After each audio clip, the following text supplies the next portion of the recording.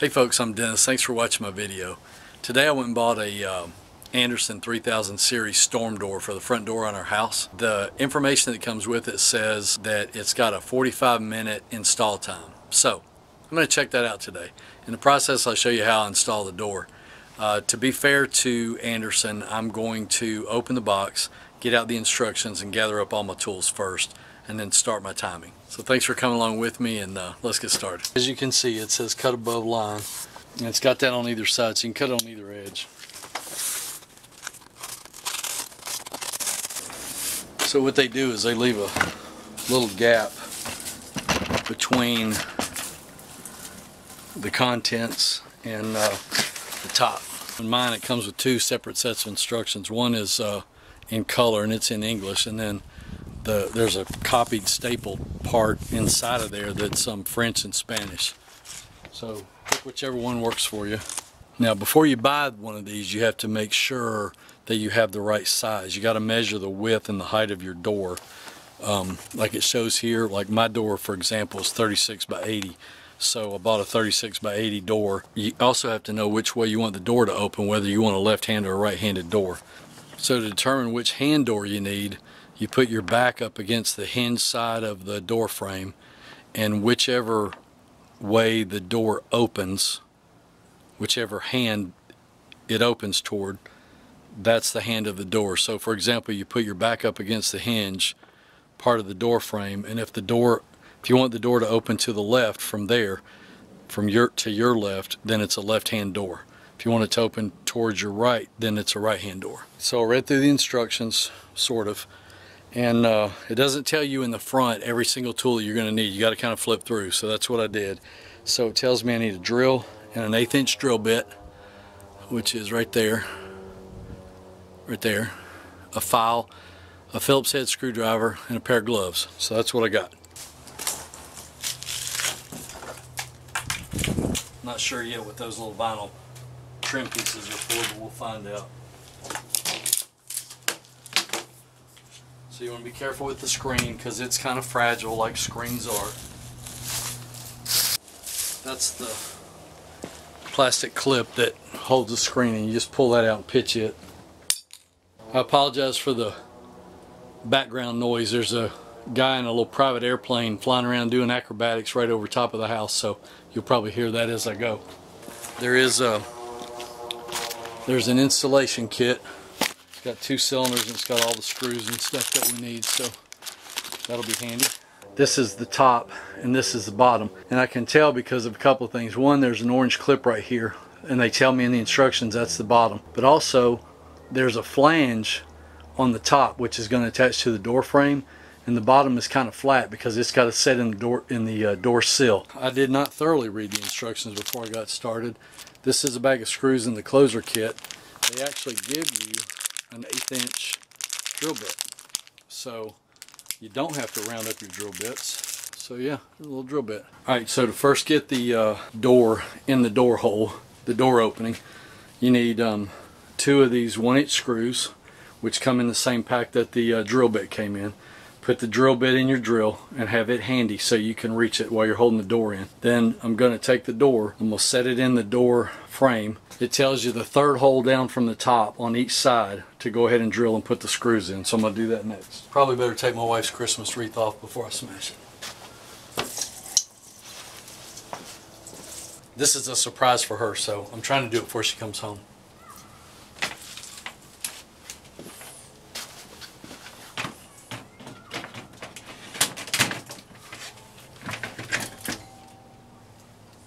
So first snag, my doorbell's in the way. I got to pull the doorbell off and move it later. Okay, I unscrew the doorbell and uh, doorbell and I'll just fix that later. I'm to have to figure out how I'm to route the button.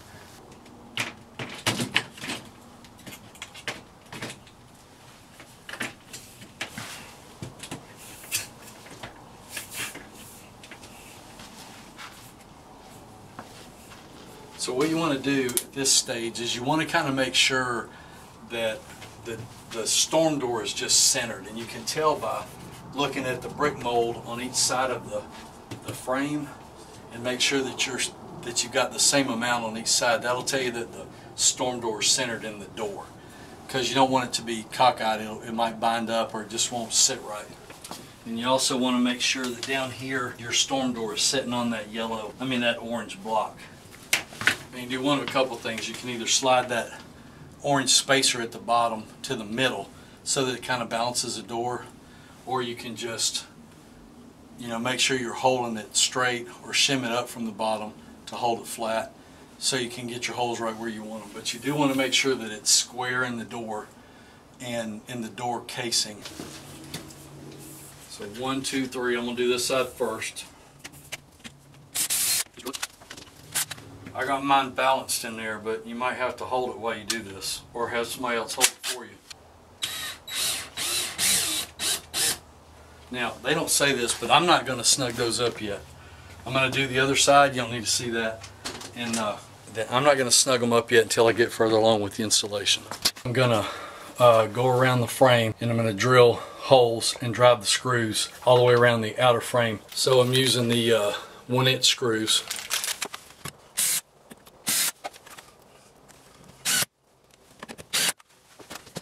I did decide to go ahead and snug them up as I drive them because once you get two screws in there, it's not really going anywhere.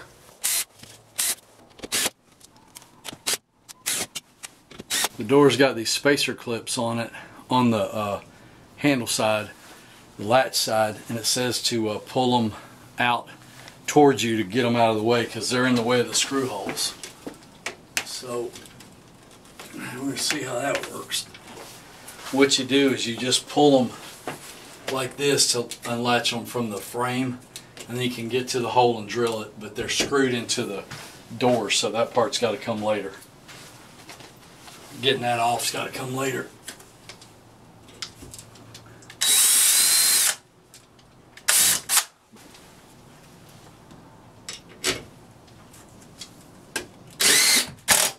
Once you got all the uh, all the side screws in it says to um, take a Phillips screwdriver and there's there's two orange handle hole fasteners. It says remove them by inserting a Phillips screwdriver into the handle hole and firmly pressing them out. Grasp the edge of the door and pull the door open. Right, so, guess I'm just pushing them out. Yep. And they fall to the bottom. You just push them out like that and then you can take the door, you can open the door. So the door jamb or the hinge rail is it's the side where the uh, where the hinges are. So we're going to do more drilling and screwing. Alright, so I don't know how well you can see this, but there's there's two beads of weather stripping, uh, felt weather stripping. There's there's one that's attached to the hinge rail, and then there's one that's in this inner flange. The screw holes are right between those two. So there's two here, there's two further down. Um, there, basically there's two holes at each hinge. There's four hinges on this door. So there's two holes, one above and one below each hinge.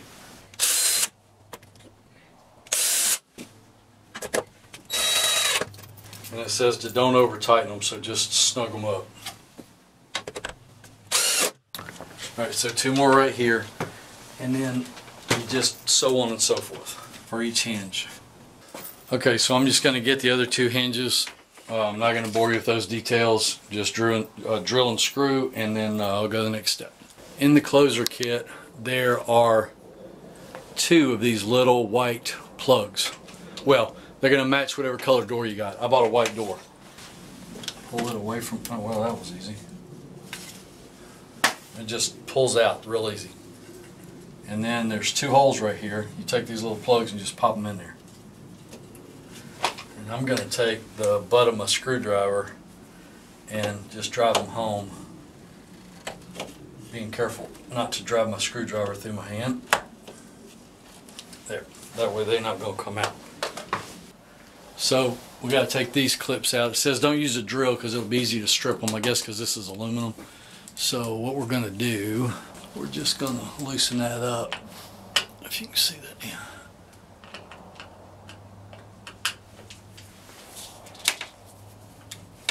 Loosen that up just enough to slide that off. And then tighten it back up. and do the same one on the bottom. Then it says to pull the other spacer clip that's on the bottom uh, off. The, the one that was on the side here fell off, so it's fine. But you just grab them and pull them off. They're no big deal. So next we got to put in the lock set. This lock set goes with this door, so when you get your door, don't forget to get the lock set. It's part of the 45 minute easy install, which so far is going all right. I'm running out of daylight though, so all right. So I got the uh, I got the rubbed bronze. Um, those are the back plates, obviously. There's a square hole and there's a notch in one side of the square hole. And the instructions say to make sure that that notch is facing down. Mine is not facing down, so it says to take the, the handle, spindle, stick it in there, turn it so it is. So now it's facing down. You probably can't see that in the camera, but there's just a little notch in one side of the uh, of the, the hole. You have uh, two trim plates. One has the Andersen logo on it, one does not. The one that does have the Andersen logo is the outside trim plate.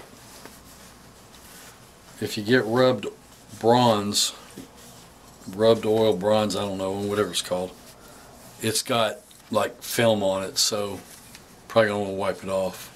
I mean, I'll wipe it all down after I'm done anyway, but whatever. So then you take the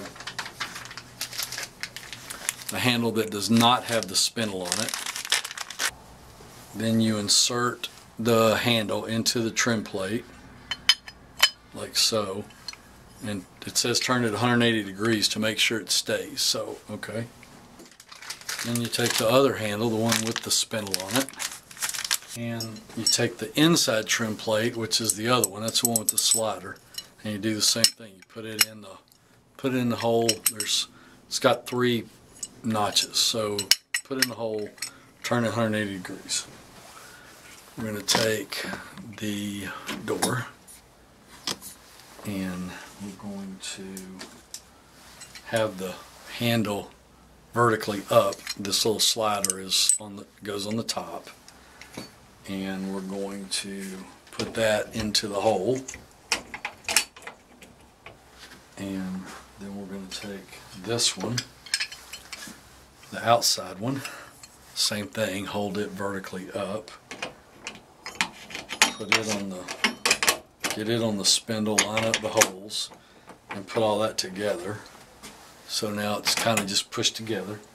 If you can slide the whole thing together you got it because that little there's a on the back side of here where that slider is there's just a rectangular hole in the mechanism that's inside the door as long as that that rectangular rod that's on the back of that slider goes in there you're good. So if they push together you got it made. Rotate the handles to a horizontal position. So the screw kit that comes with the latch is this. There's two long pan heads look like that. Pan head is rounded flat on the bottom of the head so that's what we want. And they're going to go in from the back you're probably going to want to just use a screwdriver to put them in just make sure they thread up as you're what you're doing is you're you're screwing from the back into this front face plate. And so you got to go in there straight and make sure you get it in the right hole. And uh, it should thread up pretty easy but it's going to probably be a little difficult to get it in there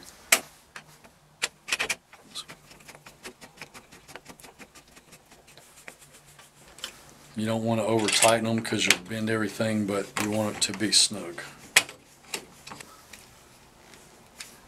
Okay, so snug them both up. And the latch should work, which it does.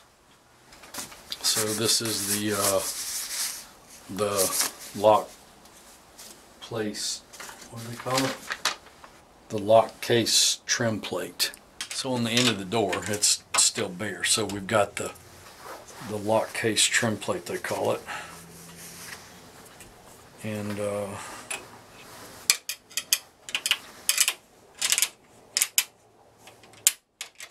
so it's gonna go like that, I suppose. I don't know if that's right or not. Yep, obviously it's gotta go like this, okay. So it goes like that. we're going to take the short screw, which is a 5 8 screw, put it in the top hole right here.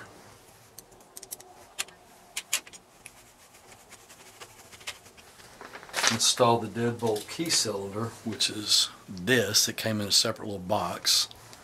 That's the deadbolt. So that's the one that we looked at earlier. That's an inch and a half, but it's got a flat head on it, which is kind of beveled. So we're going to, this is the inside, obviously, of the deadbolt latch because you want that on the inside. And it's got a screw hole in it here. So it's going to line up here.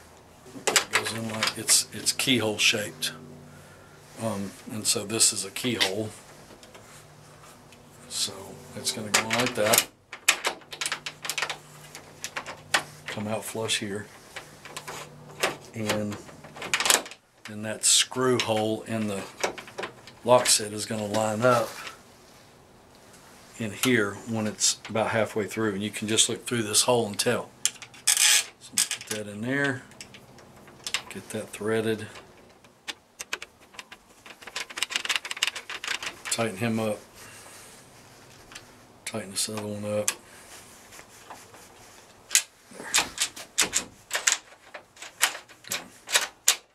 So kind of cool.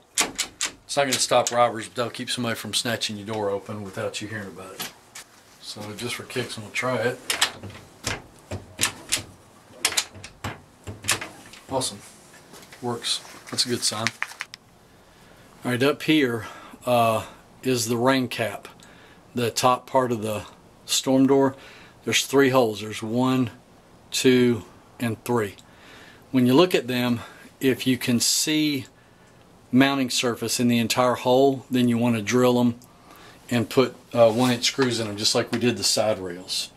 If you can't, then you just plug them and uh, up there on the top, if you couldn't put screws in there and you had to put plugs in it, then this is a rain cap extender. And what you do is you, you install this above the door frame, the storm door frame, where you can get to uh, mounting material and then take your your drill and, and drill and screw this in to cover over the top of the door.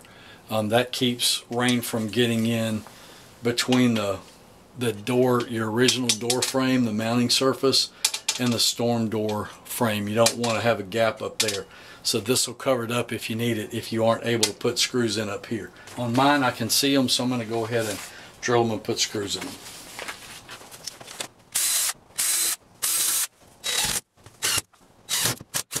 So then my next step is to take this little piece, which is a screw cover. Basically it covers up the screw heads so you don't have to look at them. It makes it look nice. What you have is you got a short one that goes in the top and then you've got two long ones that go down each side. So all you do is you take these, they're just, I don't know if you can really see that, but it's just a little rounded piece of vinyl and you snap it into that channel where the screw heads are. That's the top one. And then you take the long pieces of vinyl trim and do the same on the sides.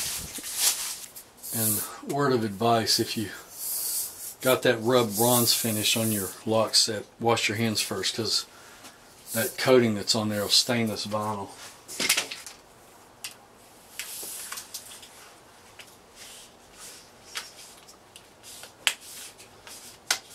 So it just kind of snaps in there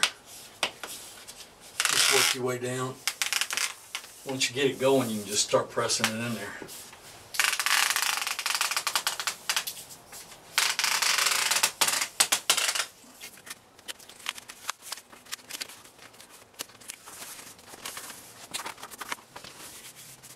This is the top of the door. There's these two uh, hard vinyl pieces that come with it now the instructions read like the like the glass is not already in the door and the side retainers aren't already in the door. Mine are. The the glass is in and the side retainers are in it. So I've just got to put in the the top and the bottom retainers and they both go in the same way. They just snap in.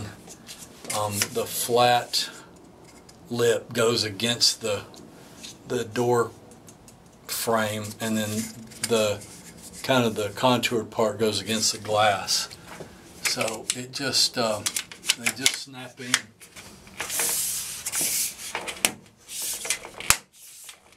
So you just go down through there and pop it in. There's a there's a little channel um, right at the edge of the door mold frame and there's a ridge on the back of this that pops in that channel. So you do that on the top and then do it on the bottom. Now down here at the bottom you've got the sweep and what it does is it seals um, the bottom of the storm door against your your door sill. So if you look underneath there and you see daylight, then you need to probably need to adjust the sill down. So or the sweep down. So all you have to do is loosen these up. It's one on each side. Slide the sweep down enough to where it seals. And then tighten the screws back up. And it may not even be like even on both sides, just depending on your, your door sill. Make sure you can't see daylight and you're good. Next thing we gotta do is put on the closers. There's one on the top, there's a closer on the top on this door and one on the bottom. I'm just gonna show you one because they're the same. In the closer kit, you get two closers. They're, that's the only difference between the two is that one of them's got the, uh, got the bump lock thing on it. Um, they say to put it on the bottom. I suppose you could put it on the top or the bottom. I'm going to put it on the bottom. Um, the other one's just plain. But uh, the installation kits are the same. You've got a uh, you got a bracket that goes on the door. You got a bracket that goes on the jamb. You got the arm that snaps into that bracket.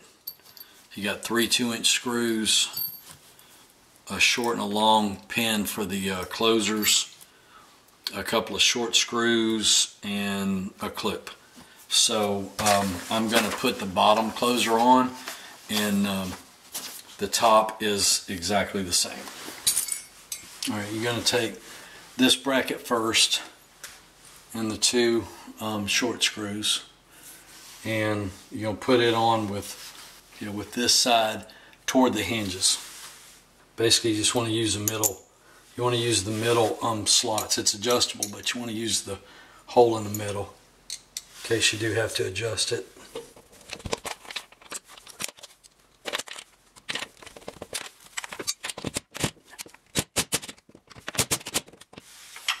I wouldn't tighten them up with a driver. You just got to get the threads started. Tighten it up with a screwdriver. So now we're going to take this piece and it's going to go up against a door jamb like that you want to line the top of it up with this part of the door. So I'm going to take my I'm going to take my pen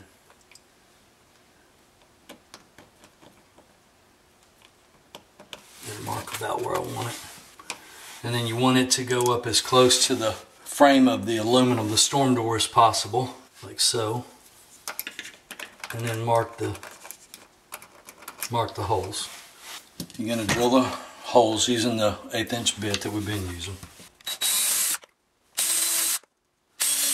You're going to use two inch screws so I go ahead and drill it kind of full depth of the of the bit and then you're going to take uh, two of the big screws and you're going to put them in the two back holes, the holes that are furthest away from the storm door.